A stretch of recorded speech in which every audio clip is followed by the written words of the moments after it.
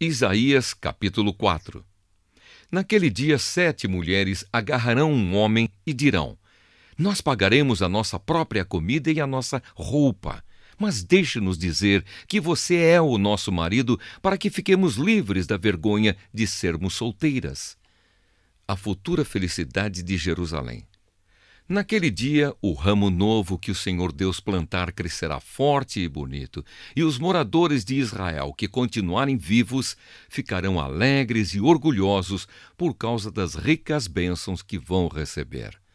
Aqueles de Jerusalém que Deus escolher para continuarem vivos serão chamados de povo santo. O Senhor julgará e castigará Sião ele purificará a cidade de toda a impureza e de todos os seus crimes de morte. Então, sobre o monte Sião e sobre o povo ali reunido, o Senhor estenderá uma nuvem durante o dia e chamas de fogo e fumaça durante a noite. A glória de Deus cobrirá e protegerá o seu povo. De dia, ela será uma sombra para protegê-los do calor e quando vierem as chuvas e as tempestades, será também um abrigo e uma proteção. Isaías capítulo 5 A plantação de uvas de Deus. Vou cantar agora para o meu amigo uma canção a respeito da sua plantação de uvas. O meu amigo fez essa plantação num lugar onde a terra era boa. Ele cavou o chão, tirou as pedras e plantou as melhores mudas de uva.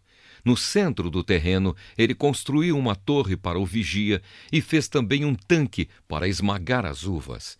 Esperava que as parreiras dessem uvas boas, mas deram somente uvas azedas. Agora o meu amigo diz: Moradores de Jerusalém e povo de Judá, digam se a culpa é minha ou da minha plantação de uvas. Fiz por ela tudo o que podia.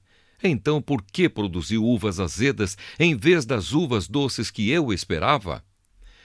Agora eu lhes digo o que vou fazer com a minha plantação de uvas. Vou tirar a cerca e derrubar os muros que a protegem, e vou deixar que os animais invadam a plantação e acabem com as parreiras. A plantação ficará abandonada, as parreiras não serão podadas e a terra não será cultivada. O mato e os espinheiros tomarão conta dela também darei ordens às nuvens para que não deixem cair chuva na minha plantação. A plantação de uvas do Senhor Todo-Poderoso, as parreiras de que ele tanto gosta, são o povo de Israel e o povo de Judá. Deus esperava que eles obedecessem à sua lei, mas ele os viu cometendo crimes de morte. Esperava que fizessem o que é direito, mas só ouviu as suas vítimas gritando por socorro as maldades são condenadas. Ai de vocês que compram casas e mais casas, que se tornam donos de mais e mais terrenos.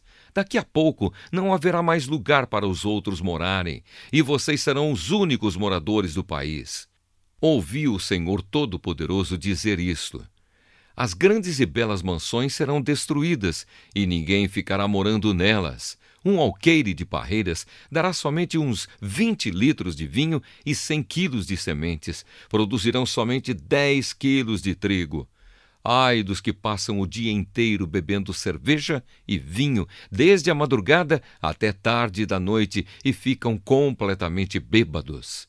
Nas suas festas há música de harpas e de liras, de pandeiros e de flautas, e muito vinho para beber. Eles não se importam com os planos de Deus, o Senhor, nem levam em conta o que ele está fazendo. Portanto, por causa da sua desobediência, o meu povo será levado prisioneiro para fora do país. O povo e as autoridades morrerão de fome e de sede.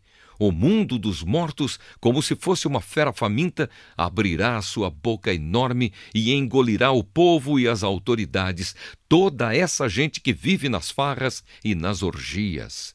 Todos ficarão envergonhados e os orgulhosos serão humilhados.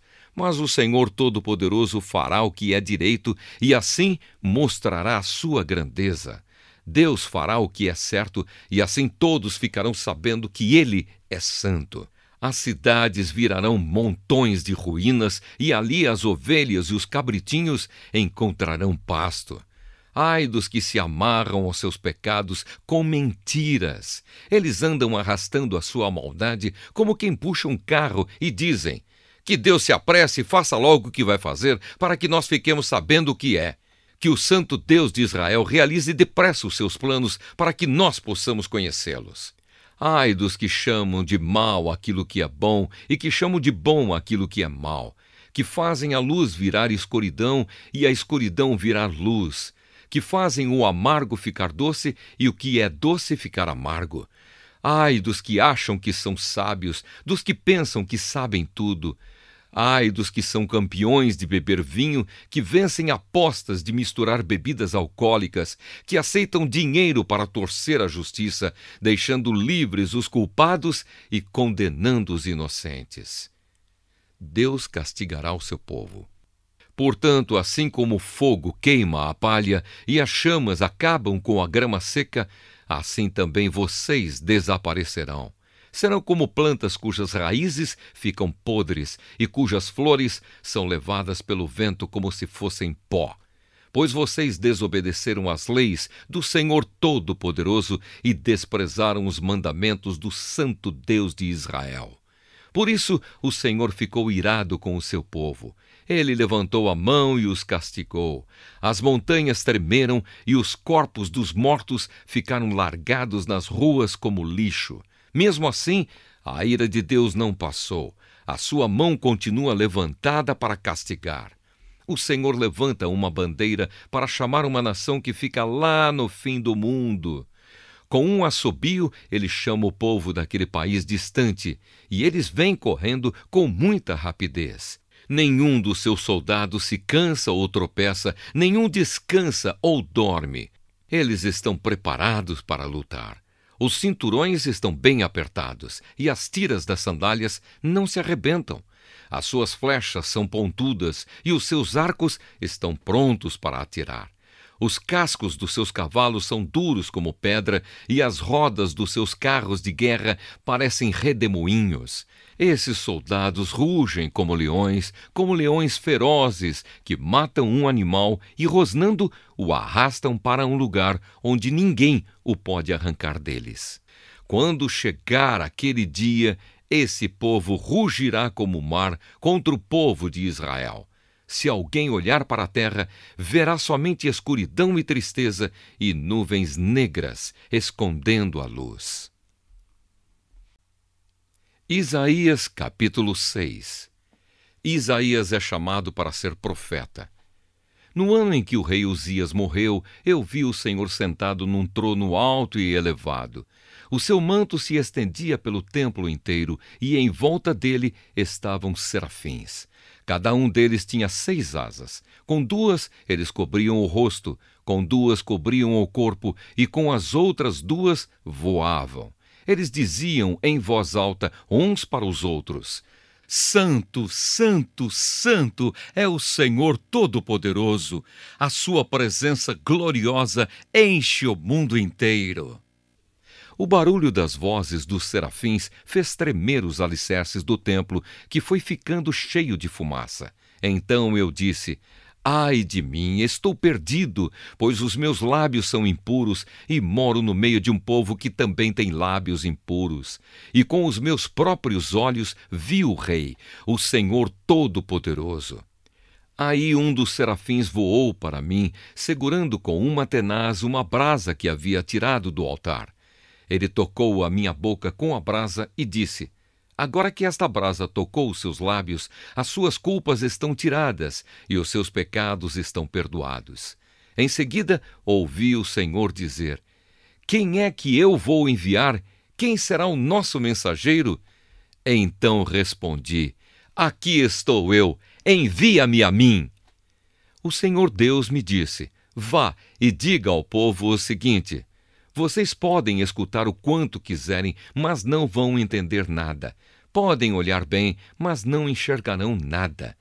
Isaías, faça com que esse povo fique com a mente fechada, com os ouvidos surdos e com os olhos cegos, a fim de que não possam ver, nem ouvir, nem entender. Pois se pudessem, eles voltariam para mim e seriam curados. Até quando isso vai durar? Eu perguntei.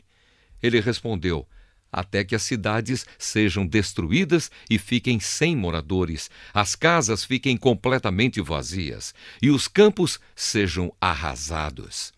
Eu, o Senhor, mandarei o povo para longe deste país e as cidades ficarão vazias. E mesmo que fique no país uma pessoa em dez, ela também será morta. Os que restarem serão como o toco de um carvalho que foi cortado. O toco representa um novo começo para o povo de Deus.